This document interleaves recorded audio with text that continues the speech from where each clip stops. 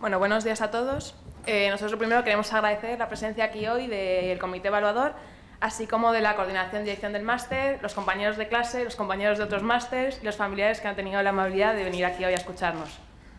El título de nuestro proyecto es el diseño de una instalación desaladora de agua de mar de gran capacidad con pretratamiento por ultrafiltración y doble paso de osmosis inversa. Lo hemos realizado entre Alfredo Peraita, Miguel Moraga y yo, que soy Cristina García Ochoa, eh, bajo la tutela de Aitor Díaz. Él es ingeniero químico y trabaja en el Departamento de Ingeniería Aplicada de SADIT. El índice que vamos a seguir en esta presentación es el siguiente. Primero, una breve introducción sobre el porqué de este proyecto, seguida una explicación básica de los fundamentos de la osmosis inversa, para continuar con los datos de partida y requisitos exigidos, una explicación detallada de la línea de proceso y terminar con el estudio de explotación y las conclusiones. Y ya sin más empezamos con la introducción. Eh, se estima que las dos terceras partes del planeta están cubiertas de agua, pero no toda ella es accesible ni apta para el consumo humano. Así, el 97,5% del agua se encuentra en forma salada en mares y océanos, mientras que tan solo el 2,5% es agua dulce. De esta pequeña cantidad, tan solo el 0,26 es fácilmente aprovechable para el consumo humano. Esta pequeña cantidad, además, se ve reducida en cantidad y en calidad, tanto por la contaminación de las fuentes como por el uso poco racional que se hace del agua. Eh, eh, hoy en día, 1.300 millones de personas viven en países con escasez de agua y Naciones Unidas alerta que esta cifra irá en aumento por las consecuencias que el cambio climático está teniendo sobre el ciclo global del agua. De este modo, eh, la desalación aparece como una solución y una posible fuente sostenible de, abastecimiento de agua a millones de, personas. el objetivo de este proyecto es desarrollar los fundamentos técnicos que componen la línea de proceso de una instalación desaladora. Hemos optado por una planta de gran capacidad, siguiendo con la tendencia actual que prefiere estas frente a las pequeñas plantas, tanto por la necesidad de hacer frente a una demanda cada vez mayor de agua, como por la mayor eficiencia energética que se consigue con ellas. De igual modo, hemos diseñado la línea de proceso teniendo en cuenta las últimas tecnologías disponibles que, consiguen eh, un agua producto de gran calidad con menor coste energético y por tanto económico. Por último, una referencia a la normativa aplicable en España a las desaladoras, que esto queda fundamentalmente recogida en el Real Decreto 1-2001, el texto refundido de la Ley de Aguas y el Real Decreto 140-2003, que recoge los criterios sanitarios de abastecimiento de agua para consumo humano. Las tecnologías de desalación más empleadas hoy en día se fundamentan en la osmosis inversa. Para entender este proceso es necesario explicar primero en qué consiste la osmosis directa. Así, eh, dado una masa de agua pura representada en el esquema en verde claro y una disolución salina representada en verde oscuro, separada por una membrana semipermeable que permite el, paso de las moléculas de agua pero no así de las sales, el fenómeno de la ósmosis consiste en la aparición de una presión del lado del agua pura que hace que las moléculas de esta pasen hacia el lado de la disolución salina, tratando de igualar las concentraciones de sales a ambos lados de las membranas. Así, eh, lo que se consigue es disminuir la cantidad de agua pura y aumentar la cantidad de agua salina, hasta que la columna diferencial de agua entre ambos recipientes es tal que la presión en el lado del agua salina iguala a la presión osmótica, como se puede ver en, el gráfico de inferior izquierdo. Eh, alcanzado este punto, el sistema está en equilibrio y el número de moléculas de agua que pasan del lado del agua pura a disolución salina es el mismo que las que pasan al contrario. Ahora bien, la osmosis inversa en lo que consiste es en situar un émbolo encima de la disolución salina y aplicar una presión superior a la presión osmótica. De esta manera lo que conseguimos es eh, eh, romper el equilibrio anterior, invertirlo y que el número de moléculas de agua que pasan de la disolución salina al agua pura sea mayor que a la inversa. Es decir, conseguimos agua pura a partir de agua salada.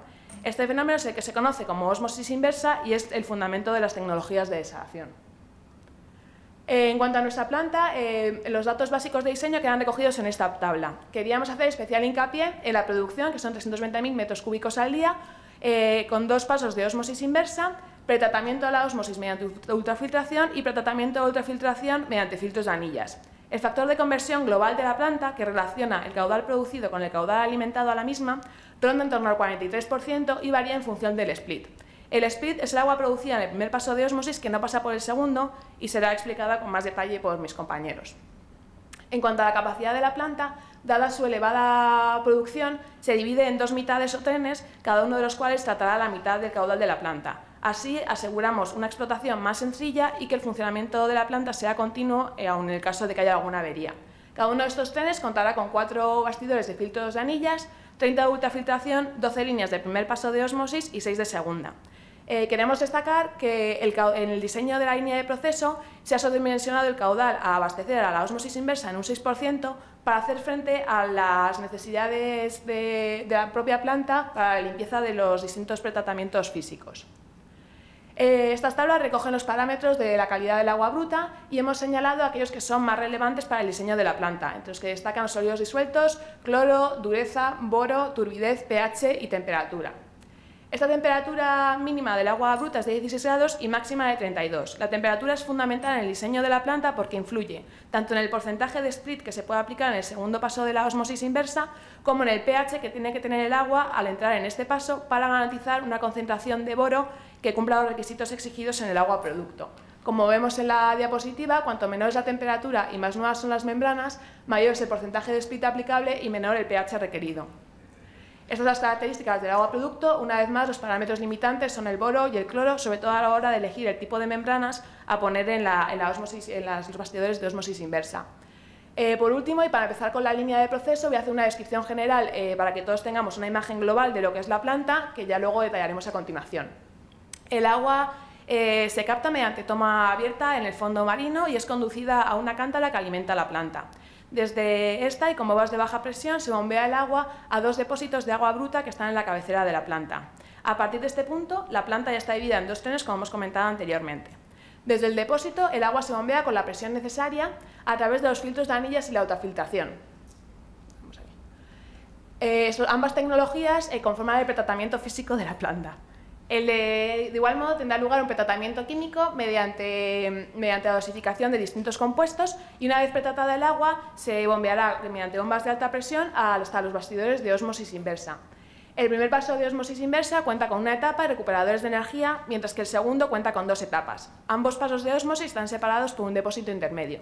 Por último, el agua se ha remineralizado en lechos de calcita para adecuar su pH y dureza a los usos posteriores. Y a continuación mi compañero Miguel va a continuar detallando la... Muchas gracias Cristina, buenos días a todos. Eh, tras un barrido general del proyecto, vamos a entrar en detalle ya en cada uno de los procesos. Para ello yo empezaré describiendo la captación y a continuación los pretratamientos físicos y químicos. Y luego ya Alfredo se meterá con la osmosis inversa y la remineralización. Pues bien, la captación es un proceso fundamental, esencial en nuestra planta, ya que es la encargada de alimentar eh, al resto de la línea. Eh, un mal diseño, un fallo en el funcionamiento de la captación conllevará el no poder alcanzar los requerimientos en el agua producto.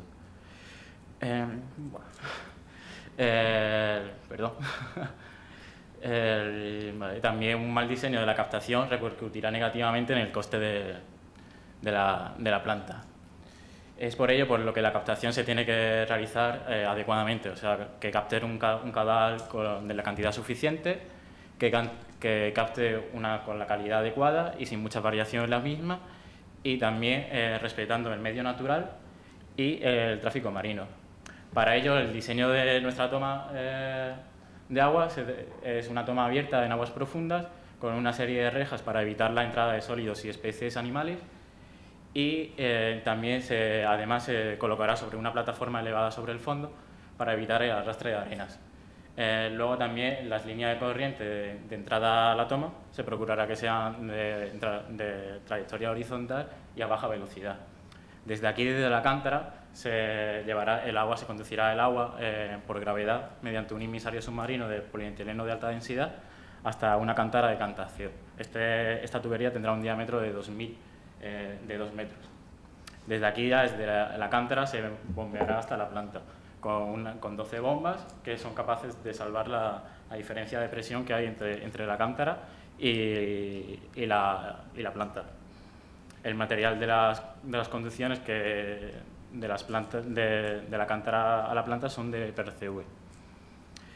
El, el, agua llegará a la planta a un depósito que, cuya función es solamente dar un margen de seguridad ante un posible fallo en el bombeo. Desde este depósito se realiza otro bombeo de baja presión para, para proporcionar la presión necesaria a los, eh, a los pretratamientos físicos. Los pretratamientos físicos que tenemos en nuestra planta eh, eliminan materia eh, en suspensión, macromoléculas, coloides y también materia orgánica. pero sin embargo no son capaces de eliminar eh, materia disuelta, sales disueltas, como es el caso de las membranas de osmosis inversa. Por lo que el objetivo de este pretratamiento físico no es otro, sino el de proteger las membranas y que éstas eh, perduren en el tiempo el mayor tiempo posible. Nuestro pretratamiento físico se compone de una filtración por anillas y una filtración. En la filtración por anillas es, consiste en un cribado, eh, pasando el agua del exterior a interior de unas anillas a través de unas ranuras. Los sólidos, las partículas que sean mayores que el, que el tamaño del, poro de las, de, las, de, las, ranuras de las anillas se quedará, se quedará en exterior. Este tamaño de poro es aproximadamente de 100 micras. Nosotros hemos trabajado con unos eh, filtros de anillas de la marca Argal, Arcal, eh, que se agrupan en bastidores de 5 filtros y cada bastidor es capaz de tratar 4.300 metros cúbicos a la hora. Eh, debido al enorme caudal que tenemos, nosotros tenemos que colocar 8 bastidores en total, con un total que hace un total de 40 filtros. A continuación, eh, la ultrafiltración se consigue una clarificación mayor e incluso una desinfección, al, quedar, al tener el tamaño del poro tan pequeño que incluso microorganismos quedan, quedan excluidos. nosotros hemos trabajado, para la ultrafiltración, hemos trabajado con Hydrocap 60 de la casa Hydronautics eh, se trata de una membrana de tipo capilar. son unas membranas tubulares muy pequeñas, muy finas, de tamaño exterior de 500 micras, muy pequeñas, en las que el agua eh, circula del interior del capilar al exterior, quedando retenida la suciedad en el interior del capilar. Como bien he dicho, hemos trabajado con, la marca Aeronautics. Eh, las membranas capilares se conforman un tubo y nosotros tenemos que colocar eh, nada más y nada menos que 10.200 tubos en nuestra planta debido al enorme caudal que tratamos. Estos tubos se agregan en bastidores de 170 unidades, total de 60 bastidores. Una de las características de la ultrafiltración es la frecuencia con la que tenemos, la bastante frecuencia con la que tenemos que lavar, ya que se ensucia bastante rápidamente. Entonces se deberá eh, preparar un, un tanque de agua ultrafiltrada para para lavar las propias membranas de ultrafiltración. Entonces, las etapas que componen normalmente la ultrafiltración del lavado de la ultrafiltración son la aireación, una, un contralavado con agua ultralavada, pero muchas veces este lavado con agua no, llega a ser muy efectivo, entonces necesitamos pues, lavarlo con dosificar un productos químicos como es ácido sulfúrico y hipoclorito sódico y ya por último, realizar un enjuague para eliminar los posibles químicos en una limpieza final que haya quedado. Esto representa eh, el, funcionamiento de los lavados. Como podemos ver, eh, la presión va aumentando hasta que llega un límite donde se saltaría eh, el lavado. Entonces la presión volvería a bajar. Así sucesivamente se realizarían lavados con agua, pero llega un momento en que la recuperación con los lavados de agua, con agua no son suficientes, por lo que es necesario eh, dosificar productos químicos, que sería el, lavado CEP este. Y ya por último, también sería eh, conveniente, o sea, ya incluso los lavados CEP no son necesarios, por lo que se tienen que hacer una limpieza a fondo con un lavado en lugar, un lavado manual, un lavado CIP. Eh, además del pretratamiento físico, es necesario acondicionar el agua para, para que estos tratamientos físicos y osmosis inversa funcionen adecuadamente. Por ello, a lo largo de la línea de proceso se dosificará una serie de químicos. En la cántara de captación ya se dosifica eh, hipoclorito sódico para realizar una desinfección y proteger los equipos de bombeo y conducciones que llegan hasta la planta. Ya en la propia planta se realiza una dosificación en continuo de cloruro férrico, que es un coagulante, eh, hipoclorito sódico y también eh, tenemos un, como un regulador de pH. Por el caso de que el agua de entrada no tenga un pH que no sea adecuado, pues dosificarlo. Luego, antes de la, de la membrana de osmosis, eh, dosificamos bisulfito sódico, porque las membranas de osmosis son muy, eh, nos afecta mucho el cloro que pueda llegar, entonces como, como seguridad dosificamos bisulfito sódico y anti-incrustante también, para evitar la, la incrustación de sales. Ya en el segundo paso, entre el primer y el segundo paso de osmosis, también dosificamos anti-incrustante otra vez y también eh, eh, dosificamos SOSA para eh, eliminar, para cumplir los requerimientos que tenemos con respecto al boro. Y a continuación voy a dejar paso a mi compañero Alfredo. Bueno, esta es una tabla de, de resumen de los químicos con su dosis y el lugar de aplicación. Y ahora Alfredo continuará, continuará con la osmosis inversa.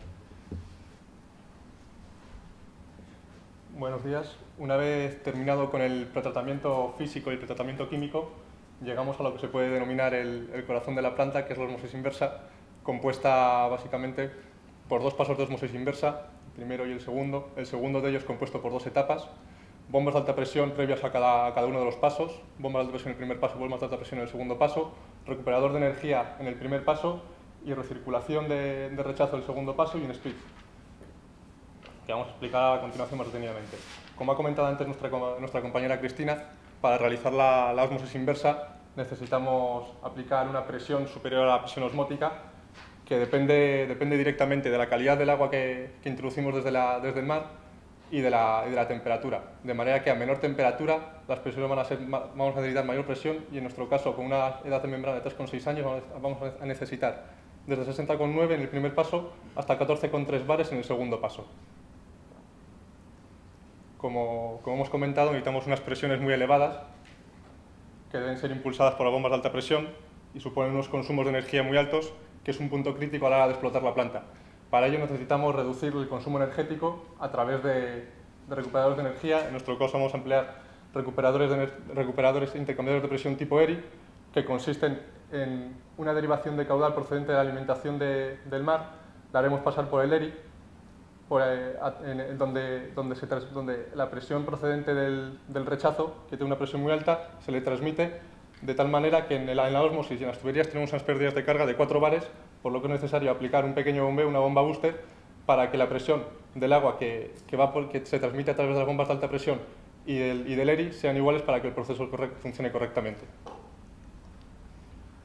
El, la, la, la, recuperación de energía la realizamos solamente en el, en el, primer paso debido a la alta presión del, del rechazo y en el segundo paso no, es, no, es venta, no, no, supone ninguna ventaja debido a la baja presión con la que llega. Sin embargo, debido a que, a que, a que el agua ha pasado por un proceso de osmosis anterior, el rechazo llega con una calidad suficiente, con una concentración relativamente baja de sales, por lo que nos podemos permitir recircularlo hasta la entrada, hasta la alimentación general de la planta, mejorando, llegando incluso a mejorar un poco la calidad del agua. Además, para, para reducir el consumo energético de las, bombas de, las bombas de alta presión del segundo paso, utilizamos un split, que como ha comentado Cristina, es la parte o fracción de caudal que, de permeado del primer paso que no hacemos pasar por el segundo paso y que posteriormente juntaremos al, juntaremos al agua producto total.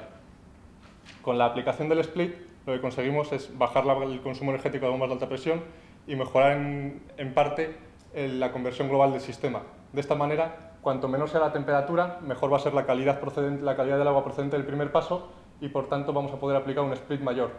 Y con un split mayor lo que vamos a conseguir es que la captación de agua sea un poquito menor.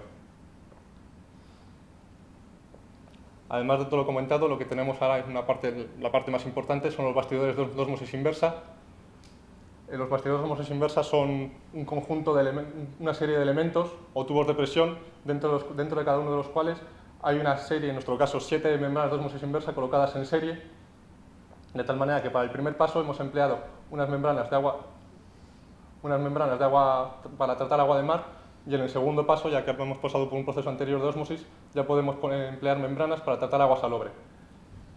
Necesitamos, eh, debido al, a, los requisitos tan exigentes de calidad que se, nos piden, necesitamos instalar un, diseñar un doble paso de osmosis y debido a la gran capacidad de la planta, que son 320.000 metros cúbicos al día, necesitamos instalar una doble etapa para mejorar la conversión global del sistema.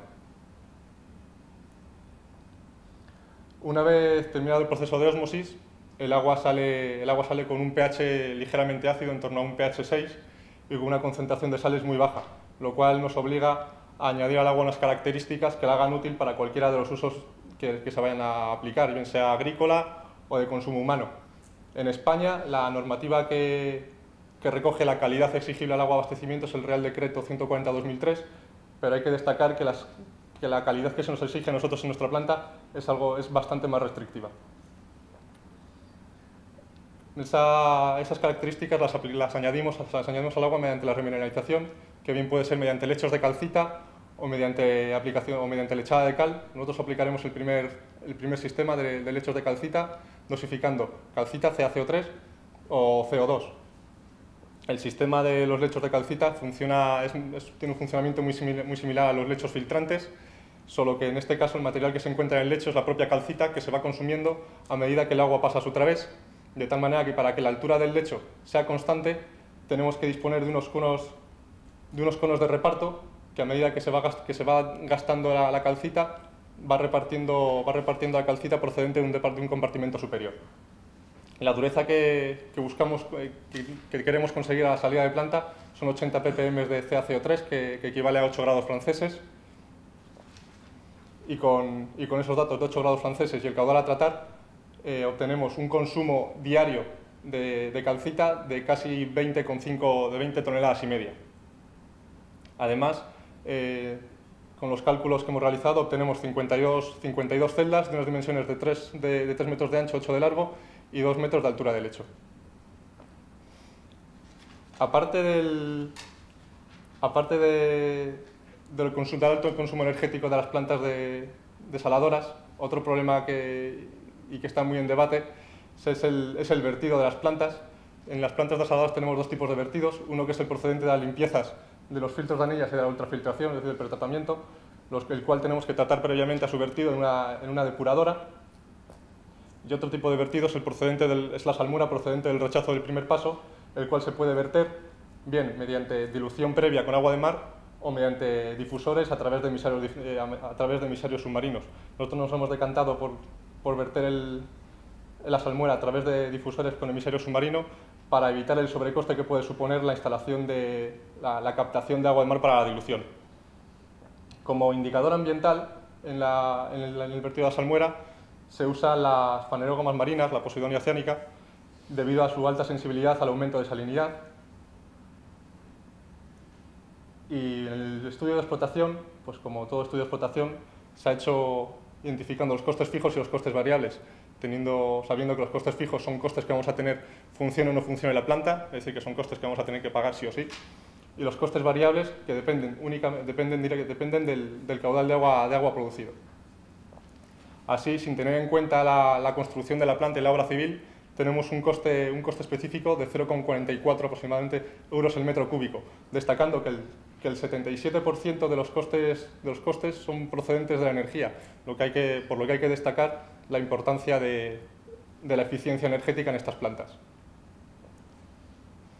Y como conclusiones, ya ha comentado Cristina al principio, eh, la tendencia actual es la, la, construcción de plantas de gran capacidad debido al aumento creciente de la demanda de, la demanda de agua la calidad que se exige cada vez, también, cada vez es mayor, por lo tanto se están perfeccionando mucho los pretratamientos físicos y químicos, de manera que nosotros hemos optado por emplear como pretratamiento físico una ultrafiltración, lo cual nos da la posibilidad de, necesitar menos, superficie, nos da mejor calidad de agua producto, menores costes de operación, mayor eficiencia en osmosis inversa y menor presión de, funcionamiento.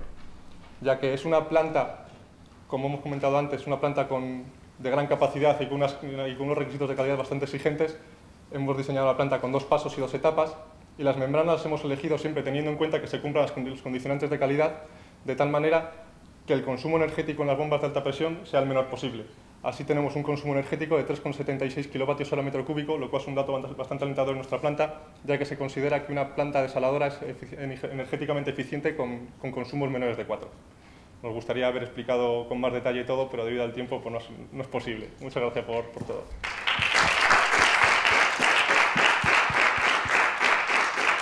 Bueno, pues enhorabuena a vosotros también y paso el micrófono a los profesores.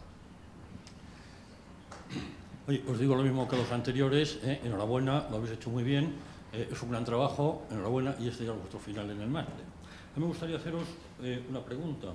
estáis hablando de una capacidad de 320.000 metros cúbicos día. Perdón. ¿Perdón? Producción.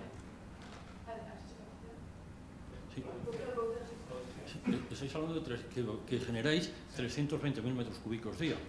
Si hablamos de 320.000 metros cúbicos día, más o menos, eso puede ser una población de un millón y medio de personas, una cosa así. Eh, está claro eh, que, un millón y medio de personas de estas plantas eh, va a haber pocas plantitas. Entiendo que estáis pensando, y de hecho en algún momento lo habéis apuntado, una parte del agua derivarlo a la agricultura. Eh, ¿los costos de producción del agua esta eh, pueden ser rentables para la agricultura? Es mi pregunta. De forma global, ¿eh? O sea...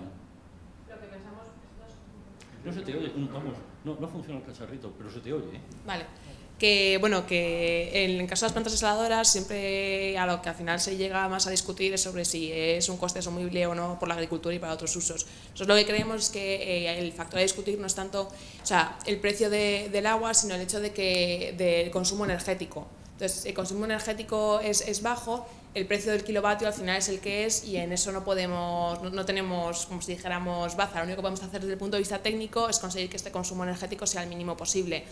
Eh, si eso no es asumible por los agricultores, pues yo creo que depende, bueno, creemos que depende de muchos factores y en concreto de que igual en nuestro país el agua hasta ahora ha sido subvencionada en gran parte. Entonces, yo en realidad el coste no es tanto, lo que pasa es que lo que estamos acostumbrados a pagar hasta ahora no es significativo de lo que requiere la producción de agua en realidad. Muchas gracias y lo dicho, enhorabuena. ¿eh?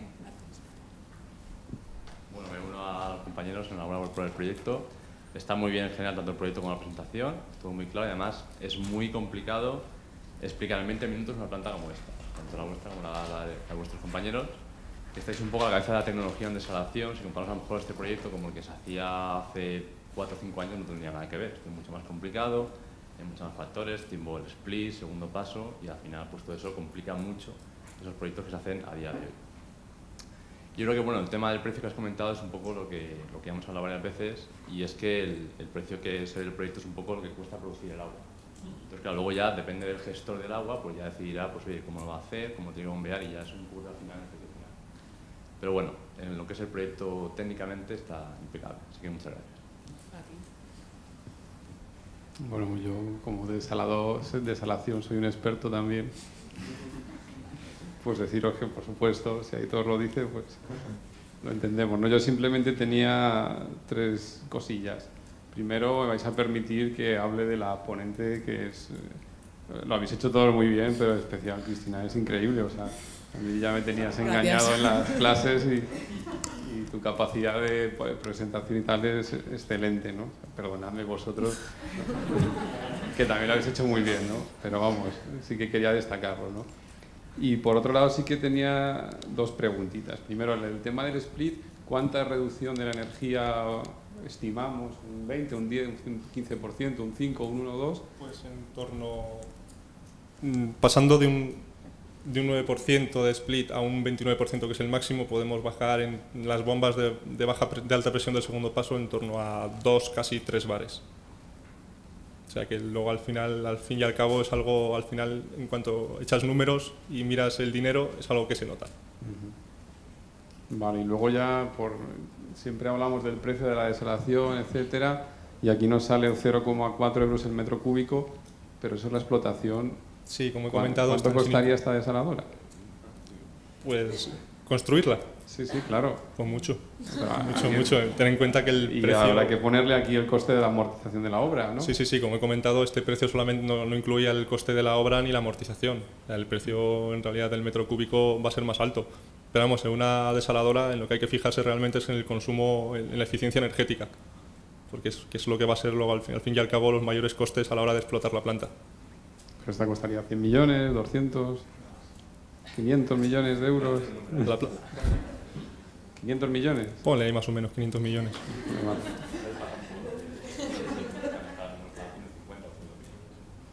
No, pero es que esta la, la decoramos muy bien. bueno. Nada, nada. Venga, pues muchas gracias, enhorabuena y... No sé si alguno tiene algún comentario, pregunta, compañeros. Nada, bueno, por mi parte daros eh, la enhorabuena. Eh, la exposición ha estado muy bien, enhorabuena especialmente Cristina, porque es verdad que, que la exposición ha sido muy clara, eh, poniendo pues desde los objetivos, por qué lo hacíais y, y, el desarrollo de todo el proyecto. Incluso casi que mis hijas lo hubieran entendido perfectamente, que son pequeñas. Así que enhorabuena. Y enhorabuena a vosotros también, ¿eh? sin menospreciar, por supuesto. La exposición ha estado muy bien y el trabajo que lleva detrás eh, de todos vosotros sé que, han sido muchas horas y nada, pues ya a relajaros. Y pasamos con el siguiente grupo.